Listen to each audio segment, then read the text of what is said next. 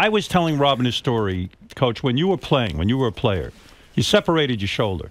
You went in the game anyway, and you what you did because you were a tight end. If you had to catch a ball, you would knock it down with your good hand and kind of push it into your chest and carry the ball, right?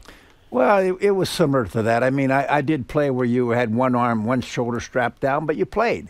I mean, you have a harness on it where it couldn't move a certain way. It was harder to catch a football because only one arm went up in the air. Right. But you could do it. You did it. Yeah. But a lot of guys. So, what about these guys who sit out when well, they have an injury? the game's different. I mean, it's all about money. Right. I mean, they're going to jeopardize their career to play one game uh, and, and, their earning power.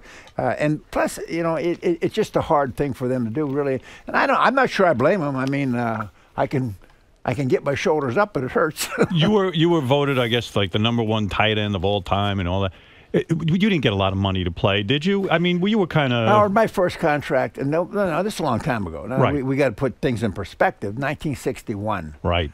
I signed a twelve thousand dollar contract with a six thousand dollar signing bonus. That's eighteen thousand. But in '61, my dad worked in a in a steel mill, so you know, but you know, what was the, relative. But what was the game plan in life for you? In other words, when you're making twelve thousand dollars, yeah, okay, that's a lot more money than your dad was making. But still, didn't you worry that you'd get out of football? Who knew you were going to be the great coach? Who knew what was going to be?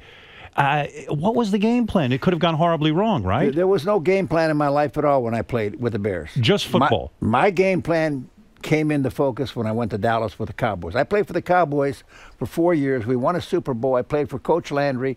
I coached there for nine years as an assistant coach, and then I became the head coach of the Bears. So if I would have never went through that process in Dallas, I doubt that I would ever become head coach of the Bears. When you were a coach for the Bears, you know, I always meant to ask you, like Jim McMahon wasn't a great quarterback in the sense of the all-time greats. So you don't need a great quarterback to win, do you? You just need a competent quarterback. Jim McMahon was a winner and a leader. Right. But if you're talking about physically, he couldn't come close to Marino.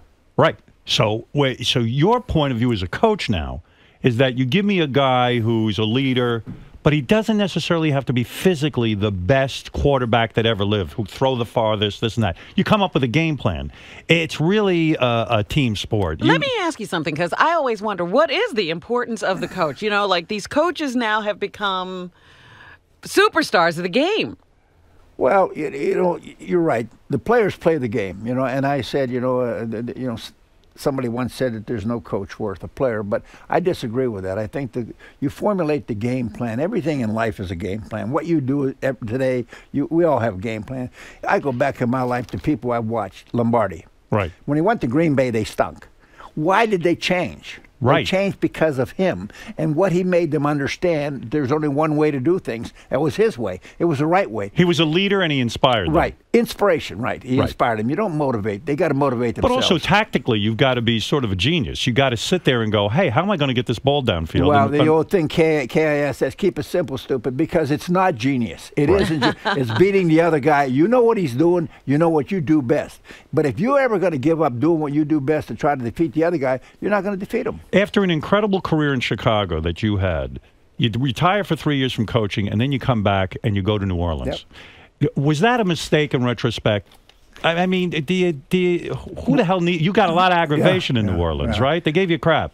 Not really. Uh, I, I, tell you what, you know, th- to say why I did it, I thought it was divine intervention because you, know, you got to understand now. I, have been part of two Super Bowl as an assistant coach and a head coach, and then both of them were played in New Orleans. So right. I said, God's calling me to go to New Orleans.